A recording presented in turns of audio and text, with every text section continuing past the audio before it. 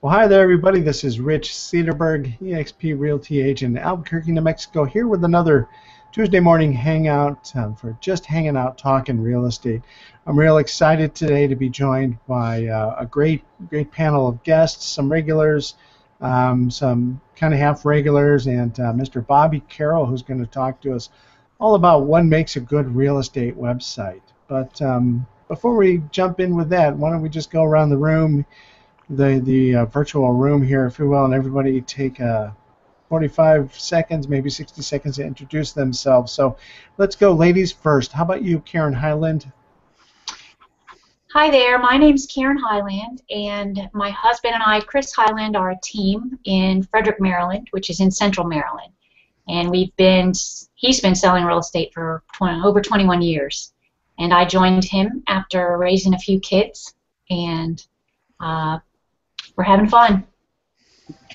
And um, you're, you're, you've got the best part of the partnership, at least in, I think, from my point of view, which you are the uh, internet person, marketing person, correct? Yeah, that's correct. I get to play on the internet, and he actually gets to um, do most of the buying and selling and dealing with the clients. So I get the fun part, I think. Actually, of course, I love both parts. I love doing doing doing everything. And Mr. John Wake, tell us about yourself. I'm uh, John Wake. I'm a real estate agent in Scottsdale, Arizona, and I'm a real geeky kind of guy. If you like real estate numbers in Scottsdale or Phoenix, come by my website, Arizona Real Estate Notebook. Yeah, John, uh, you're an economist. That's your background, correct? Yeah, yeah. So I, I always like finding the secrets buried in a pile of numbers secrets and insights uh, in a pile of numbers, right? Yeah, yeah. Excellent. And uh, Mr. Dave Keys. Hi, I'm Dave Keys. Um, I help people gain visibility in organic search, uh, otherwise known as SEO, and my focus is on real estate websites. That's about it. I help people get visible.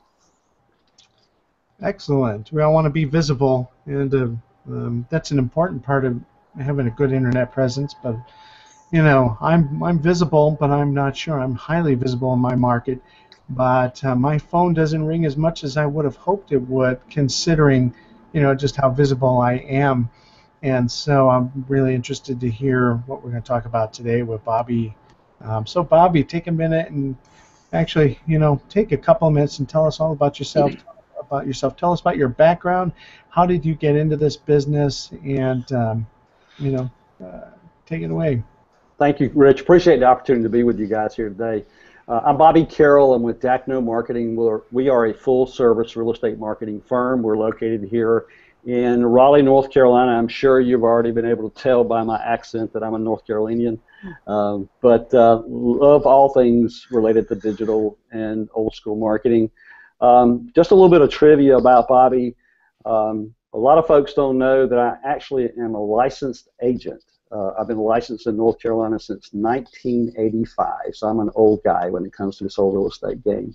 Uh, stayed around in real estate for uh, about three and a half, four years, and then found that I needed to get a real job. So I, um, that was back in the day when interest rates were 17, 18 percent. It was tough as Chinese arithmetic to sell a house. So um, got into marketing game in the airline industry landed uh, landed at Delta and stayed with Delta Airlines for about 20 years.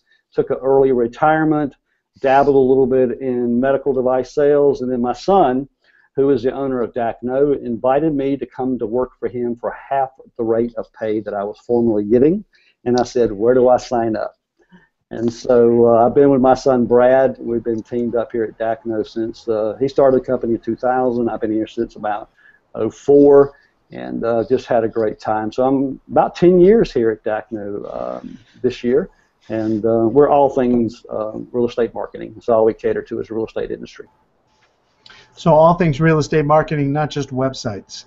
Exactly. So we're here to help with PPC, with social, with uh, you know, uh, Dave can tell you all about local SEO and ratings and reviews and things like that. So yeah, we dabble a little bit of everything. Okay, um, terrific. Uh, thanks so much for joining us, Bobby. We're we're excited to have you here, and I'm sure um, just like the hangout we did where we featured Dave um, Keys talking about SEO. I'm sure we'll get a lot of views um, after the fact of this this hangout, um, yeah. just because of your your name recognition and the great work that you guys do at Dakno. So, uh, but before we get started on that, I just wanted to talk about a couple things briefly. There's been a lot of chatter over the internet on the last probably two or three days about what is Google doing. Uh, maybe a week or two weeks ago, I'd started to hear people say, "Wow, um, results in search are as volatile as they've ever been," mm-hmm. and, and that was maybe two weeks ago. And then maybe two days ago, I heard or started seeing posts like, "Is this uh, a new version of Hummingbird that's coming out? Is this a refresh of Panda?" Um, what do you what do you guys feel like going is going on? Let's start with you, Bobby. Well, you know, um, these algorithms are, are not static. They're they're there to help accomplish Google's mission. What is Google's mission? It's to serve up the best results for relevant content that the, that the consumer wants. And so it's constantly looking at how to tweak that to make that better. Uh, what does that mean for the real estate agent? What does that mean for the real estate industry? Well, I think that if it were me, I think Dave would agree with this. Keep your nose to the grindstone and keep doing things in a white hat fashion.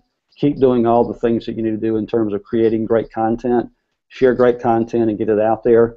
Uh, play in Google Plus. I mean, you can't go wrong there. So, yeah, I, I agree with you, Rich. I've seen some of those mentions.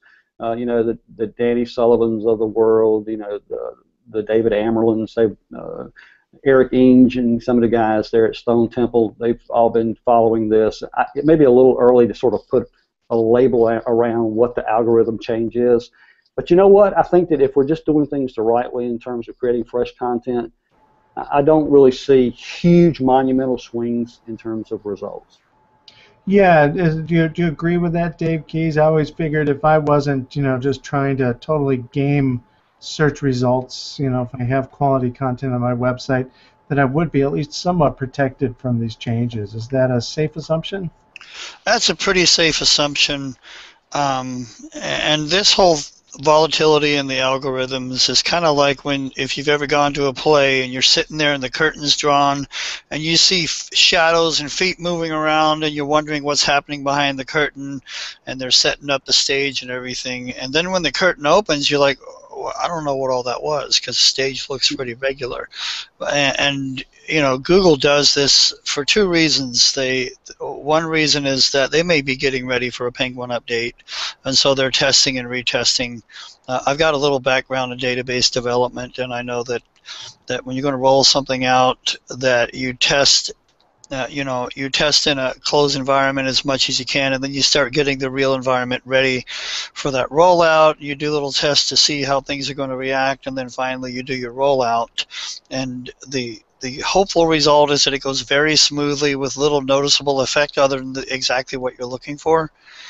And so we may be seeing a bit more now than we actually see if they do roll out Penguin, which is a little bit overdue. Um, and but, but they're hunting for the bad guys, and uh, if you know, we all, you know, I'm I'm a big believer in link building, and but I'm very cautious as to how that's done, and uh, the, you know, the people using black hack tactic, tactics and automated software and those kind of things is who they're after, and mm-hmm. they're trying to make sure they make a clean cut when they do it and so you may be seeing some testing just to see okay what happens if we do this? How will the cut go? And other than that i mean almost everybody watching this now or anytime is not even in that arena and there's nothing to get excited about.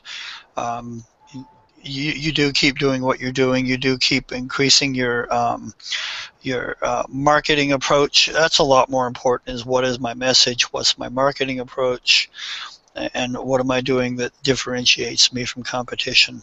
Excellent. So that's that's what we're going to talk about as soon as we uh, start talking to, to, our featured guest Bobby here about what makes a good real estate website. Um, one other thing before we get started on that, Karen told uh, told us that she's going to RETSO here on June 4th and 5th, I believe, and uh, there's probably some people who've heard of that, Karen, and some people that haven't. I would love to go. I'd love to see internet friends and you know just be in the room for the presentations or and maybe even more importantly in the hallway um, in between presentations or at the you know local watering hole afterwards.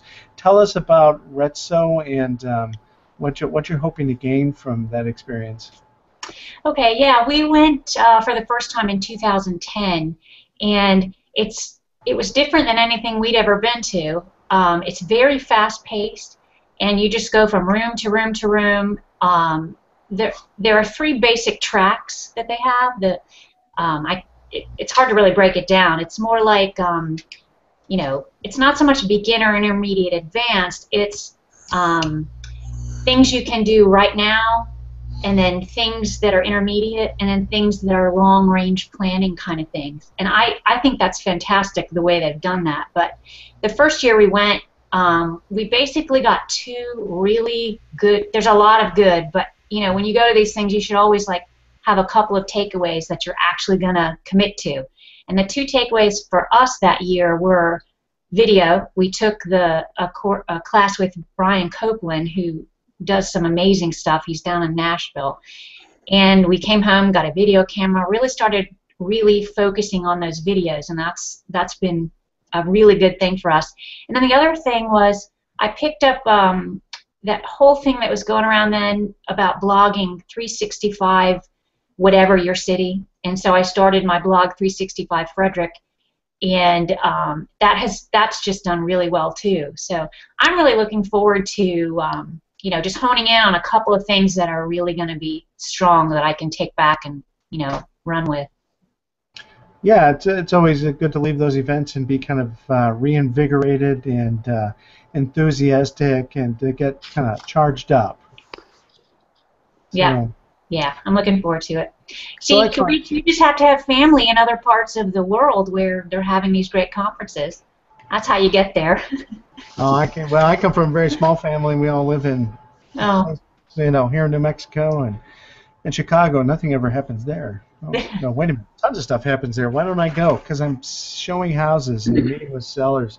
So uh, let's talk about what makes a good real estate website. When I approached Bobby about this, I was like, you know, my I said maybe we could talk about structure. Maybe we could talk about um, gosh, I don't even remember some of the technical stuff behind um, what makes a real estate website run. And Bobby's answer was kind of like, no, Rich, you've got it all wrong. We should talk basically about what do consumers expect when they land on a website. Um, so this is the discussion, although probably overlap with SEO and some other things, is really going to be geared toward do you have you know what people want to see on your website people who are looking to buy people who are looking to sell um, and so bobby in your job at Dakno do you get involved in the technical aspects aspects or are you just more looking at these marketing um, aspects no, I've actually managed the build out process in the past, um, which helps me build sort of a, a, an acumen there, uh, Rich, of you know, what it takes to build a successful site. And of course, having you know done what Dave's done in terms of accumulating data over years with using testing tools in closed and open environments, A/B testing, we're able to uh, you know assimilate a lot of good data and see what are what are the actual design elements within a real estate website that work that are getting clicks. And so what we're we're looking at is you know, what are these engagement opportunities? Sure, we can have best practices for navigation, we can have best practices for layout, and you know, and of course, design is always changing. Design, you know, the the thing now that's really big is these big images, you know, impressive images, and so sites like uh, Airbnb and Pinterest and other sites like that have had a huge influence on design, but we can never forget what are the motivations of the people that are coming to the site what are they coming there for? And so I always start that conversation with people that are thinking about designing a site and tell them why are we going to discount all the years and the data that has been uh, accumulated from sites like Trulia or Zillow or Realtor.com when we know that what they do is position some you know, caveman simple quick search tool right at the very top of the site. And so that's really the, where we start those conversations, Rich caveman simple tools. I love it. Um, yeah, you know, and I have caveman simple tools at the top of my website, and yet, Bobby, I have content, and I'm like, I wish I want to put that form at the bottom of the, the home page so people see all the great content. Well, if I do say so myself, you know, all the great content that I have there. But really, people, when they land on your website, that's what they want to do, right? They're there pretty much for for one, maybe one or two reasons, right? To, to search for homes or to find out what their home is worth. Is that pretty much it in a nutshell? You nailed it in a nutshell. So I would, you know, and there's this popular thought process that I think that um, the folks at Keller Williams have done a really good job, and that is focus on one thing. What is the one message? What's the marketing message that you want to send to the consumer when they land on your site?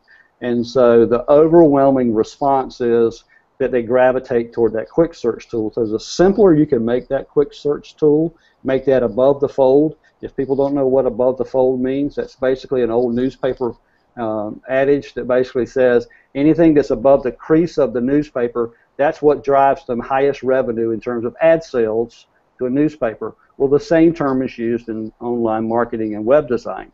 So the things that are most important, you want to place those above that scroll bar so that we know if we're building a website and the, the majority of the people that are coming to that website are buyers, let's place front and center a quick search tool right at eye level so that they can hit that the minute they get to the site. Right, but um, you know we've talked about this before.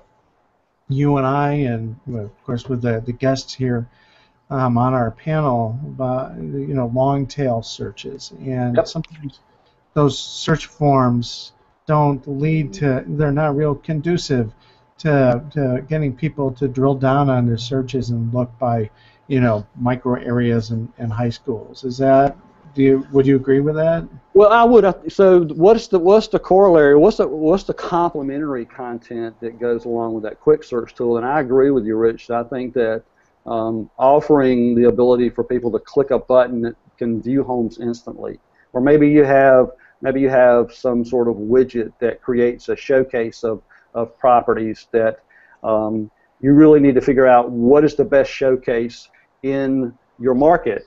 And let me give you some examples of that. Um, what's the what is the um, what is the uh, current inventory like in say your your market, um, uh, Karen? What's happening in terms of inventory there? Well, our inventory has been very low for Okay.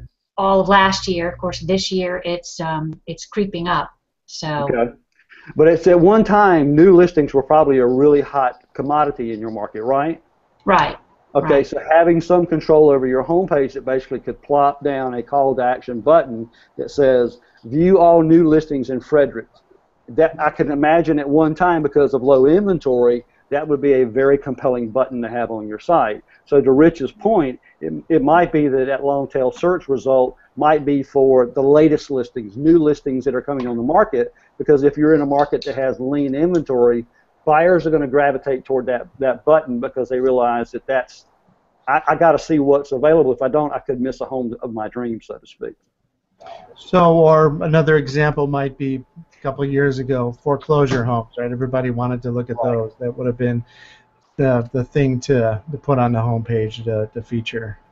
I, I agree. So here's here's some intelligence that every agent needs to think about in terms of the design of their site. They need to think about the market opportunities that are present right now in their marketplace. So if they know that inventory is lean and they know that a call to action button that says click here to view all of the newest listings coming online, then that's probably a smart button to have integrated into your site.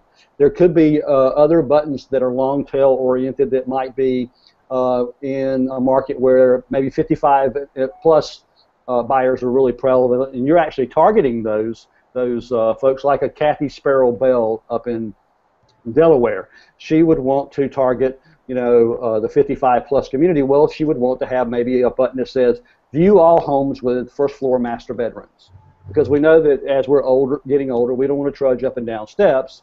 So maybe we have a button that says view all homes with first floor master bedrooms. Or maybe a, popular lifestyle amenity might be golf course homes or oceanfront homes. Or just think about in terms of your market and what are the best opportunities, what are the most popular ways that you know buyers want to slice and dice that MLS data. And so you might want to configure your site based on that, plus have the flexibility to change that at a moment's notice if you realize that maybe new home construction is popular. Right. I have a question. I have a question specifically about that. Now, naturally, I would think create a page or a blog post about that, and then from that button, link to the blog post. You think that's a, a strategy, or do you just create the page in your IDX and link to that? Well, I think that there's there that's a viable option there, Karen. But what I would say is minimize the number of clicks that it takes for that that site visitor to get to that piece of, of information. That that okay. whether it's a blog post or you know I, what I've done here at DAKNO is create a page where there would be really good copy-based content in the page to let Google know what the page was all about because sometimes these IDX search pages they don't get they don't get all that much Google juice. So what we do is we we actually write a page of content about that's relevant to that particular search. Then we RSS feed the listings into that page. Okay, and so they, there is that instant gratification of being able to see properties, but uh, some explanation from Google's perspective of what that page is really all about. So I think that's kind of a best of both worlds approach. Great. So, yeah, I got a question as well. So, uh, Bobby, you talked about the images at the top.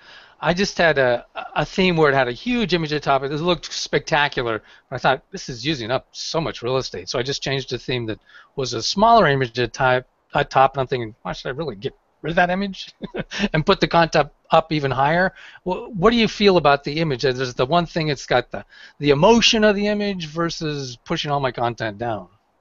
Well, one of the things we're finding, John, that's an interesting comment, is that uh, let, let, me ask you this, John. When you go to your tablet and you now scroll through a web website, are you willing to sort of use your finger to scroll through that particular site on your iPad or your Droid or whatever? Yeah, pretty much. Okay. I think I think there's a proclivity for all of us as consumers of content to be willing to scroll. So it used to be that everybody would just say, oh, page scroll is horrible, it's terrible. You need to eliminate page scroll because, yes, we do see a diminish of site visitors staying on a page as it does scroll. But I think I don't think that's as huge a problem today because I think the, the tablets have sort of mitigated that. And so what we're finding is, yes, there will be a fall off in site traffic as your page scrolls, and you certainly want to have the most important um, calls to action at the top of your site. And but I would be real careful to not have sensory overload of offering too many compelling calls to action at the top of the site. Then the whole site loses hierarchy. It loses design hierarchy. So now we're confusing the site visitor because now we're asking them to click on 10 different click points. And do you know what the response is for a site visitor that is that is presented with 10 different click points? You know what their response typically is? The back button. They go away. They hit the red X or they go away. And so my, my suggestion to all you guys and gals out there, if you're configuring sites and you're playing with themes or you're getting some redesign or a new design, is go back to my original point. Think about that quick search tool, put it at front and center. I, I love the idea of the hyper-local content. Rich, we hadn't even talked about that. One of the major discussion points or talking points of buying a home is where is that neighborhood? What does it offer me? In terms of amenity and lifestyle. And we're making those decisions based off of those neighborhoods. And so offering some button or drop down menu that says, view all our neighborhoods here, take a look and take a tour of all our neighborhoods, that's a very compelling button for buyers as well. Um, you, you threw a term out there and it went by pretty fast. You said design hierarchy. Yes. Um, um, maybe some people, I mean, I, I think I kind of know what that means, tell it, but I'm not sure There's probably some basic uh, points about that that I don't get. Can you talk a little bit about what does that mean, design hierarchy? What are the most important design elements that are going to be in your site, and, and ascribe some level of priority in those, Rich. And so for me, if I'm building a site, the, the quick search, and forgive me for sort of being on a, you know a bandwagon about that, because I go to so many sites and I see a button that says start your home search here. So now I'm being forced to click a button to go to a subsequent page where I will perform my search. When shouldn't it be easy just to do that right there in the middle of that home page? And so I would think that, and maybe have a, maybe the next priority in terms of design element would be um, that hyperlocal content. Or maybe it would be search in a town by price points or by lifestyle or by that long tail search result. So, or you know, how about my telephone number so people can call me? I think that on my list of, you know, design hierarchy, that's number one. You know, and I, you, that's the things that we overlook. And so, definitely at the top of the, the banner, like all your contact information, um, simple, easy to use, horizontal based navigation.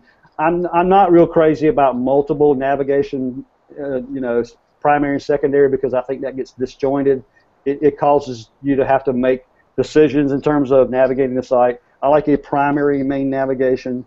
I like to have some drop down menus. I'm not real crazy about this whole uh, child. You know, you so you have one drop down and then a spider out. You really get yeah. problematic with a lot of you know older you know older visitors who can't control their mouse, and so they're having to kind of do this daisy chain effect of, of navigation. You want to avoid that.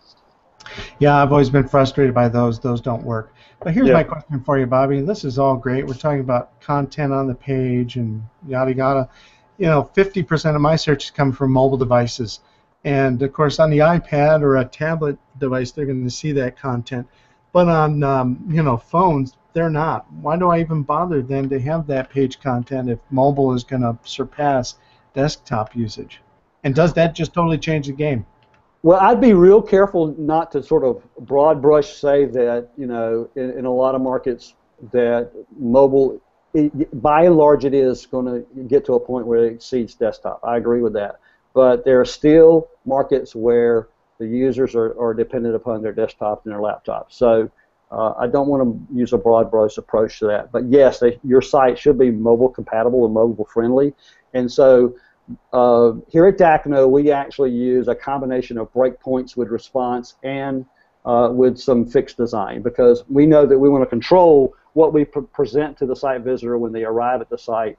And some totally responsive sites tend to push down priority design elements that um, need to be front and center with the site visitor. So we here at DAKNO we take a little bit different approach in terms of total response. We actually build breakpoints into our mobile sites so that we're making sure that the most prominent design elements are front and center when the when the visitor gets there. And again, you know, you want to make sure that not only is the search tool mobile friendly, but the results of that search search tool are mobile friendly as well. And I will tell you, for the most part, uh, we we build IDX solutions here at Rich uh, IDX Broker does a nice job in terms of mobile friendliness. Um, uh, Diverse Solutions does a nice job. Um, by and large, most of the major vendors in IDX space do a really nice job in that. Some are playing a little bit of catch up on that right now, but for the most part, they do a nice job. Seems like most of them have have caught up, or they've really mm-hmm. fallen by the wayside. Um, mm-hmm. So yeah, great points about mobile, and we could do a whole hangout about you know what what mobile is going to do to search, but um, you probably just don't want to want to go down that path. Let's talk instead about, you know, I think on my website I'm a WordPress guy. Mm-hmm. Right? So I did my own stuff. and you talk about design hierarchy. I'm like, well, I guess I left that up to the theme designers. Um, you know, it, it's hard for me to go in and uh, change the fonts and and I don't know, am I supposed to do inline CSS or not? Right? At that point, I kind of throw my hands up in the air and just say, well, geez, I'm just trying to get found online. But I, have kind of mastered that. I'm, I'm found very well in my local market. But again, people aren't picking up the phone to call me um, at the rate that I would want to. And um, something that you and I talked about yesterday before while we were planning this hangout was like, are you communicating your unique, uh, I guess, marketing proposition? Mm-hmm. You know, and how can we do that? I don't even know I don't even know where to begin.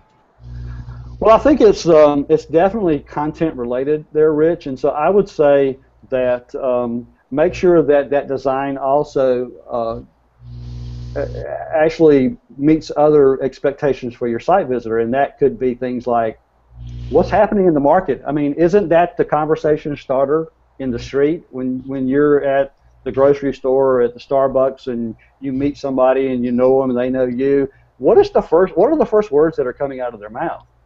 Well, we all know it's, "Hey, Rich, how's the market?" Well, I think you need to address that on your website, and that can differentiate you.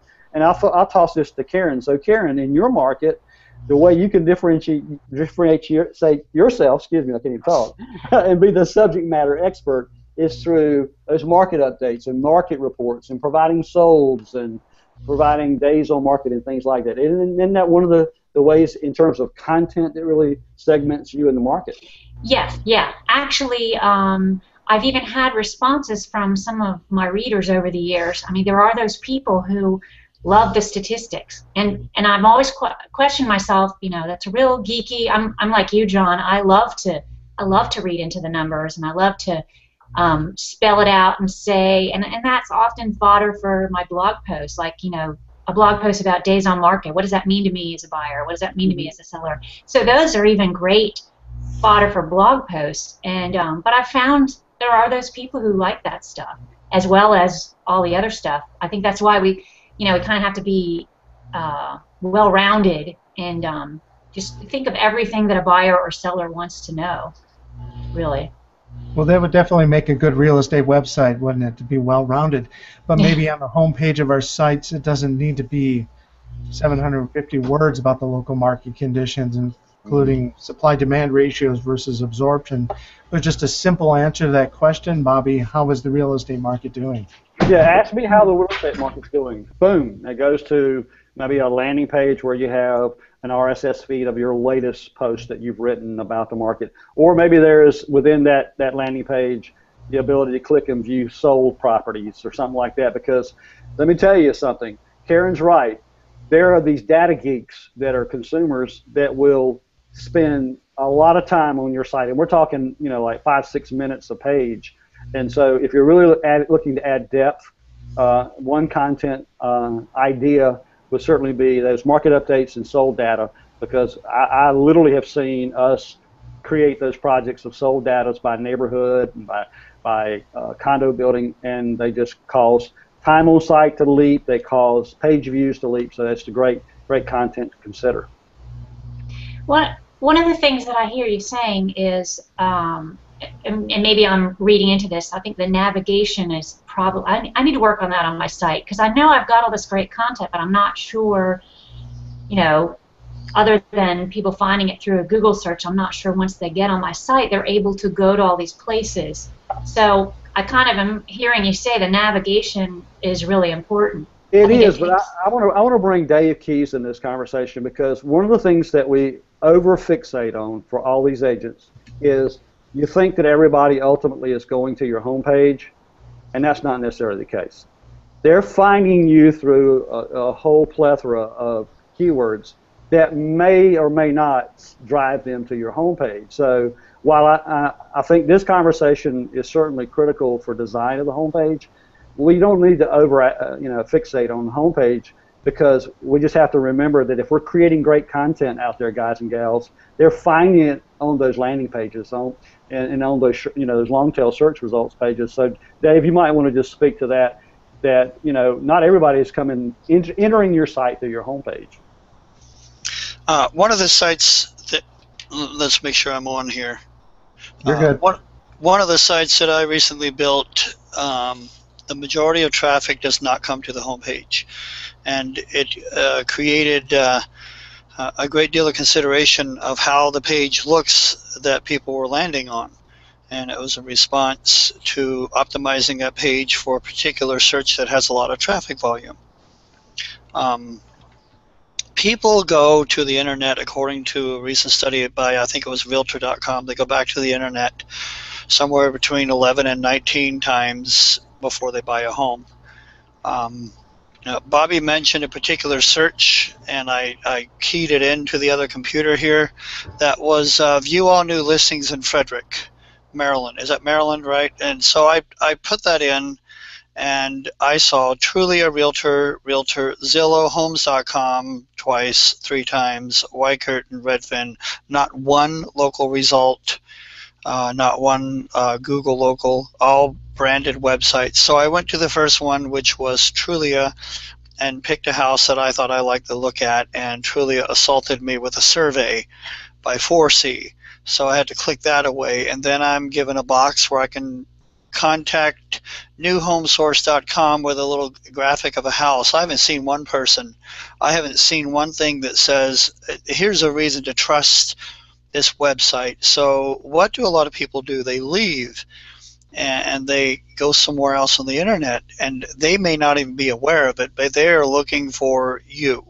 Mm-hmm. And the big differentiator in this game between everybody here and the the big aggregator syndicate websites like Trulia and Zillow is that there's a person at the helm. People like us who people go and look for and, and you know sooner or later they're going to say who can I trust? Mm-hmm. They're going to ask questions. They're going to start reaching out to connect. Um, I did another search uh, about schools. You know, maybe I've been told by somebody you want to go and make sure you buy a house near Liga Linganore High School. It's rated nine on great schools. So I go and I change my search, Frederick, Maryland homes in Linganore High School district because I want to make sure I buy a home in that district so my kid can go to that high school. Now I have a whole different set of results, a completely different set. Um, there's opportunity there. There's opportunity to talk to that person where their need and where their emotions are. And Bobby talked about data on websites and people how long they spend on that data. And a lot of people do that. But even those people, the buying decision is emotional. And one of the things that that data hounds like to do is talk about how analytical they are because they like to be seen as smart. This is an emotional reaction to information is I want people to see me as smart, and so I'm going to talk about how much I look at the critical data. And you might, but when you walk around the corner with your real estate agent, you see that house for the first time, you make a snap decision based on something that's not data, it's emotion. And that starts with the real estate agent and starting to meet the agent. And and uh, um, Rich, I'll say that that is your unique selling proposition um, and I'll end with this. One more recent ad I've been hearing is that 90% of people work with the first real estate agent they come in contact with. That's that's kind of important. Like, what happens when they come in contact with you? Now, I, I get abysmally low traffic according to a lot of metrics on my website, and that website feeds me leads all the time to the point that I have to choose who I'm going to work with and who to turn down uh, because it's about meeting me, the star of the show, um, like it or not, pretty or not. Um, I'm the guy that they decide they can trust. And it's the same thing for everybody that's watching this that's in the real estate business is that people are have a great need to find an agent whom they can trust. And that's where you make the difference between all the big sites that spend millions and you simply bringing authenticity to the table so that they can trust you. Hey, Dave, can I ask a question getting back to uh, what Rich was saying about getting the phone to ring and putting the number? Do you have any tips on how to get the phone to ring? Because having that information of about what for sale, that's really, they're looking for data on homes, or those people aren't necessarily looking for a real estate agent. Well, they so, may not be, but they need one. Uh, I well, may be looking for information on cancer because I think I have it, but really I need a doctor. And sooner or later, if I'm sane, I'm going to choose a doctor. I'm going to go to the doctor and say, you know, I feel something I've never felt before, and I need to have a scan. Um, now, that's a negative uh, approach, but the idea is if you need something enough, it doesn't matter um, you know how much you want to get information. You need to go see the doctor. You need the real estate agent. Unless you are just a self-punishing glutton for pain uh, you're going to need an agent to help you through the process of buying a house because it's more complex than ever um, yeah but, but the point i'm trying to make is that it's an intervening thing to look at homes for sale that's intervening the real point is to get them to call you so yes. i'm just trying to get, is there, is there a way to short circuit that somehow to just have them uh, make the call. Uh, I guess we're talking about it by talking about neighborhoods or something more specific. But anyway, that's the goal yeah, this, is to get the call. This is counter to branding. I'm going to let Bobby address this. Go ahead, Bobby. Thank you, Dave. Um, so the magic question of the hour is, uh, I'm a real estate agent and I want my phone to ring. Um, and here is sort of the anecdotal evidence of what we've seen to make that happen, guys and gals. So I've got one agent here in Clayton, North Carolina he blogs his fanny off. I mean, the guy is a content generating machine. So that to the point that he blogged about a local Harris Teeter grocery store opening near a subdivision that he really promotes. To the point that people were calling him, asking him, where do I send my resume to get a job at the Harris Teeter? Now, that's kind of backfired, but I, I love it the fact that people think he's the subject matter expert for that community. And he knows everything to the point that the local town planner says, if you ever need any help, David O'Doherty, I'm your guy to help you because David is like the goodwill ambassador for this little community. And so he blogs about, you know, new things that are happening in, com- in commercial development, but he also blogs about how that relates to the local residential real estate market to the point that he is now seen as the subject matter expert, the authority. So now people do bypass the forms and the engagements on his website and they literally email him or they call him and say, I've been reading your stuff for six months. You know what you're talking about. I'm coming to town. Let's go buy a house. Or yep. you know what you're talking about. I've seen your market data. I've seen your videos. You know how to market homes. I want you to be the guy to list my home. And so that is the evidence right there. And I know it's hard, guys and gals, but if you can crank out really great content that really differentiates yourself there, that's the that's the silver bullet right there. Hey, um, Dave, one of the things we had, or uh, no, I'm sorry, Bobby, one of the things we had talked about before, one of the things I'd seen on Google Plus, I think it was, um, I think you say Corrine in Barrington, Illinois, had done an infographic, maybe at your suggestion, that sort of featured, and I don't remember that was three weeks ago, but featured where traffic came from on her website or what pe- consumers liked about her website. Yeah. Um, you remember that, and, and it yes. was cool. It was like you could use an infographic to tell consumers why they ought to prefer your website. So, yeah. Yeah, let me speak to that because it's really interesting. We, we helped Corinne Guest. She's a Barrington, Illinois real estate agent, does a bang up job. If I was buying a home, there's a little commercial, I would definitely use Corinne, and then not because she was, you know, a Dakno client or anything. She's just a, a smart gal. But um, she Absolutely. created yeah, yeah. She she created a, an infographic using a tool called Piktochart, P I K T O C H A R T, Piktochart. And in that, what she did was aggregated all of her web statistics from 2013. And you want to aggregate it on the big level with big numbers because big numbers do what? They impress people. And so what you do is you aggregate all that data of, like for instance, we created one for a local agent here where she got traffic from all 50 states. Her website got traffic from like 14 foreign countries. So we put that front and center on that pictograph, on that on that uh, infographic. We also put the number of annual visitors she got. We also put in there that she had a remarketing strategy where she had ads of her website appear at New York Times and Wall Street Journal and all these high-profile online publications. Uh, we put how many uh, page views she had. So we use all of that data that would like wow people to say, my gosh, you are dominant in online marketing. I got to list my home with you, and you use that in your listing presentations.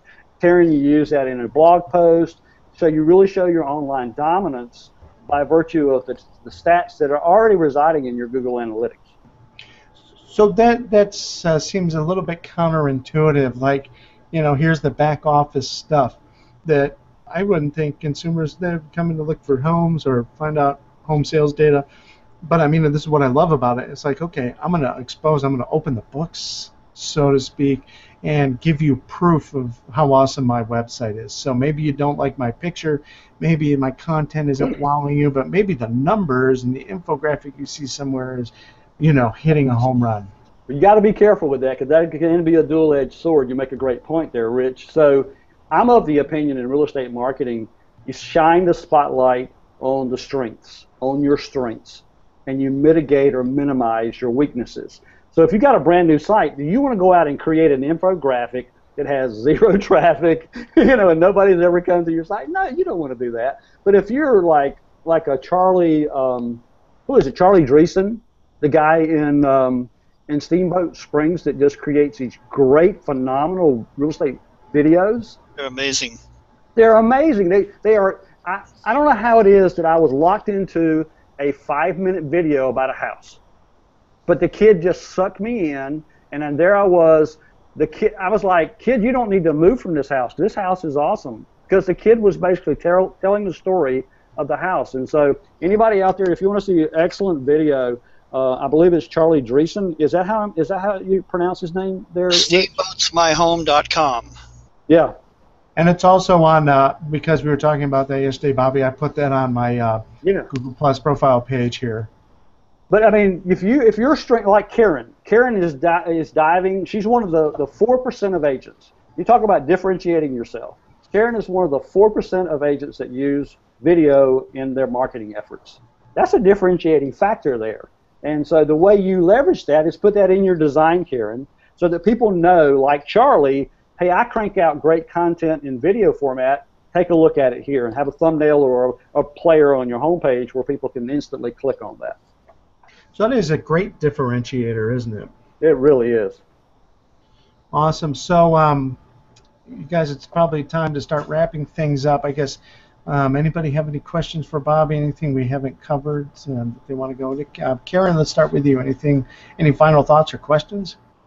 Yeah, um, the whole uh, aspect of website speed. I've been having a couple really hard weeks trying to get my speed down. I get yeah, get my time down. I'm down under three seconds. Um, how is that, and what should we shoot for? I guess. That's actually a pretty good grade, Karen. So I, I give you a hat tip for that. So that's really good. Here are the things, and David can can definitely speak to this as well, Rich. But the things that I look for in terms of uh, speed hogs, um, people who own WordPress sites are widget fanatics. Mm. My gosh, widgets will suck the life out of your speed of your site. So be careful not to over widgetize your your sidebars. Um, not only that, but you're now relying on a third party in most of these cases with these widgets.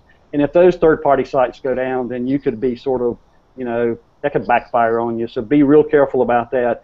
The other thing that I would tell you about, while uh, and I don't have a soapbox for this, I'm not uh, I'm, I'm not a person that beats up on ZTR or anything like that.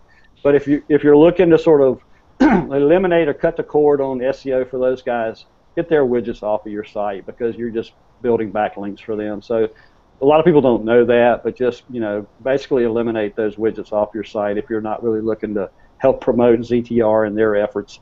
The other thing that I would tell you to look out for, and John mentioned this earlier, is if you've got like nine images rotating in the background of your site, uh, that's probably sucking the life out of your speed. So unless those images are optimized, um, you want to make sure the images are optimized for rotation. But you know what? The reality is people don't come to your real estate website to watch your slideshow. If you think they're parking in front of your website to watch your pretty pictures flip through your homepage, you got another thing coming. They're not there to do that. They're making they're making decisions in nanoseconds, people. So don't load nine pages in the background and watch them flip. Excellent. How about you, uh, John Wake? Any final thoughts or questions? No, I just I was intrigued by what you were saying that there might be an update to Google. So I guess Dave, so you're going to be uh, keeping us updated on that on your blog or your website? Absolutely. Yeah, I'll, I'll put the word out on Google Plus and Facebook and whatever. Um, everybody will put the word out. You don't need to rely on me to do that. As soon as, as soon as Penguin is official or anything, you can bet everybody in my industry is going to need something fresh to talk about, and it will be a firestorm of activity. But you know what? It's probably not going to impact anybody here. Um, Very good. Excellent. Great. Hey, Rich, Well, if I could, I want to give one little last tip, if you don't mind. absolutely. Um, a lot of you folks out there in the real estate land love to have my featured listings with your listings rotating through um, some sort of widget on your homepage. And I know a lot of that is because of seller, uh, seller placation. You're basically placating to a seller. The reality is that's a pretty micro targeting approach. Um, if you're going to have listings rotate through your site, please, please, please name that something more compelling than my featured listings. Because consumers could care less about your listing inventory. They're there to see all the listings. So if you want to say something like hot listings of the week or, you know, top uh, top choices, you know, top choices for Rich's listings or whatever, but please make it very compelling. Make that headline compelling. Please don't use that mundane my featured listings headline because nobody cares. Yeah, Uh, okay, excellent point. I'm off to check my sites and see if I've done exactly that. Um, to check my site speed as well, Karen, thanks for bringing that up. I know when I was an early blogger, I didn't always resize my photos, and that can be a big suck on um, mm-hmm. load speed, etc. So, wow, this has been great, Bobby, Dave, uh, John, Karen. Thanks, thanks for joining me, and um, I'm sure we're going to get a lot of views on this. Bobby, um, you know, thank you for being uh, gracious with your time. Tell us how people can contact you if they're looking for a website and they like what they've heard from you. Thank you. And, and again, Rich, I want to say thank you. I appreciate the opportunity to be a part of this great group of folks. Um, I'm Bobby Carroll. I'm with Dakno, D-A-K-N-O, Dakno Marketing. You can find us at dakno.com. We're a full-service real estate marketing firm. If you want to follow me on Twitter, my handle is RE Web Coach. RE Web Coach. I'd love for you to follow me there. Um, and I just love all things uh, online and social media. So if you want to connect with me in social media, I'd love to hear that. But you can connect with us through dakno.com. All right, excellent. On that note, we're going to end our broadcast for today. Um, thanks again, everybody, for being here. Have a terrific week, and we'll be back next Tuesday uh, with Lynn Pineda uh, talking about Pinterest for real estate. If you haven't seen Lynn um, around Google Plus, or if you haven't seen her on Pinterest, I don't know where you've been hiding because she is omnipresent. She does an awesome job, and she's a, a wonderful lady too. So that's what's on tap for next week. Thanks again, everybody. Talk to you soon.